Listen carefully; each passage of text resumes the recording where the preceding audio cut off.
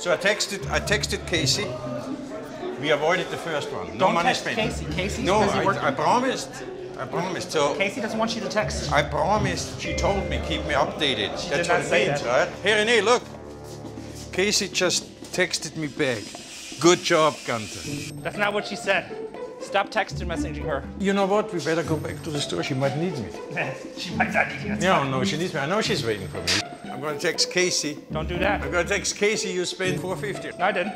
Yeah, you did. I gotta go back to the store because Casey needs my help. No, she doesn't. Yeah. Say thank you, Dad. Nope. Say thank you, No, Dad. stop it. She does not need you.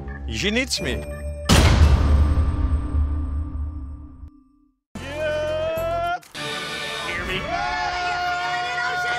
I may not have a lot of friends, but I got a lot of money. King of the world!